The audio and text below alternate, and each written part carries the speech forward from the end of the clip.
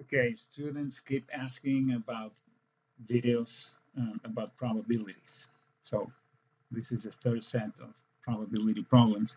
Let's make it a little bit more complicated than number one and number two. Five cards are dealt. What is the probability of getting four aces? Okay, let's see. Okay, so um, one, two, three, four, five. Five cards are dealt. We want four aces. So we will play an ace, an ace, an ace, an ace, right? So when we get the first ace, what is the probability that the first one will be an ace? And it will be 4 out of 52 because we have four aces and 52 cards. Now, once we got the first ace, what is the probability that the second one will also be an ace? So we don't have 52 cards anymore, we have 51. And we don't have four aces, we have three. Similarly, what is the probability that the third one will be an ace? Well, we don't have 51 cards, we have 50 now, and we have only two aces. And for this one, we don't have 50, we have now 49 cards, and there is only one ace left. Now, for the last card, there is no requirement. Could be anything. So how many cards do we have left? We have 48 cards left and um, there is no requirement. So any one of the 48 will do. So this is not going to affect our calculation because the probability of getting four aces will be the product of these fractions, but this is just one. So that should give you 24, which is a product of these four numbers, and this big number over here, which is a product of 52, 51, 50, and 49, because this is just one, I'm ignoring that fraction. And if you divide, you're going to get this. Now, is that the right answer? And it turns out that that is not the right answer because that would be the probability of getting the four aces uh, like that, in that position. But I could also get ace, ace, ace, something else here and ace, or I could get ace, ace, something else here and ace, ace, or ace, something else, a, a, a, and uh, something else, and ace, ace, ace, ace.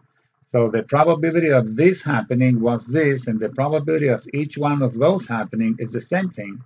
So the answer should be um, that number 0.000003694 times 1, 2, 3, 4, 5 times 5. And that gives you 0.000018469. If you saw the previous videos about probabilities examples, you probably remember that we did those problems in two different ways. One doing this kind of approach and another one saying, well, the probability should be the number of elements in our event A divided by the um, number of elements in the sample space. The number of elements in the sample space is generally very easy to figure out because we have 52 cards, right? Cards, we have 52. And we want to choose 5. Okay, so how many ways can I do that? Combinations of 52 taken five at a time. 52 taken five at a time. I keep changing from this notation to this notation, but hopefully you will have seen both. Um, okay, now, um, how many elements do we have in this event which is made up of getting four aces? This is generally a little bit more complicated to figure out how many elements do I have in event A. Okay, um, event A consists of choosing four aces, getting four aces in those five cards. So we have four aces only in the deck of cards. And the rest is 48 more cards. And we're going to choose five. One, two, three, four, five. Okay. Four of those, we want them to be aces.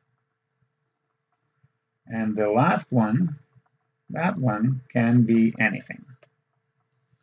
So how many ways can I do this? Combinations of four taken four at a time. And in how many ways can I do this? Combinations of 48 um, taken one at a time. And what I have to do is multiply these two numbers. So how many elements do I have in event A? Combinations of 4 taken 4 at a time times combinations of 48 taken 1 at a time. And finally, the probability that we're looking for should be 4 choose 4, 4 times 48 choose 1 divided by 52 choose 5. And if you do that with your calculator, let's see what you get.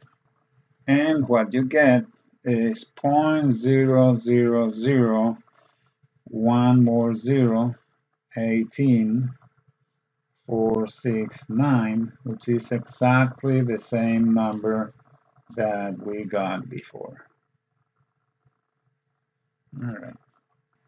Okay, second question. Um, five cards are dealt, just like before. What is the probability of getting four of a kind? Not four aces, four of a kind. So four ones, four aces, four threes, etc., etc. So now that we solved the previous problem, this is going to be a piece of cake because the probability of getting four aces of course, is the same probability of getting four ones. And it is the same probability of getting all the way to four kings. Four kings. So all of them are the same. And all of them are equal to this number that we got before, 000, 018, 469. So what is the probability of getting four of a kind? It is going to be this, was this, was this, was this, which is the same thing as saying 0.000018,469 times 13. And that gives you 0.00024096. That's it.